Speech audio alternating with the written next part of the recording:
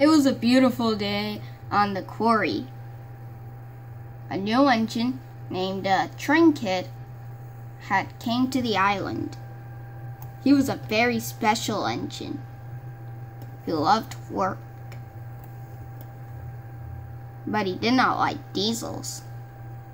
Well, there was a little mini diesel who worked at the quarry. For some reason, no one knew his name. And he was a secret engine. He was a secret diesel engine who no one even knew. No one even knew him. He was just secret. He's just a secret engine. I mean diesel. Hmm. I need to know the secret diesel. I'll go talk to Bluebird. Hey, Bluebird! There's a secret diesel on the railway that I do not know. Well, said Bluebird. Names are hard to think of, said Bluebird. I guess you're right. I think it's just my imagination. I just gotta sleep. And Trainkid went to sleep. The end.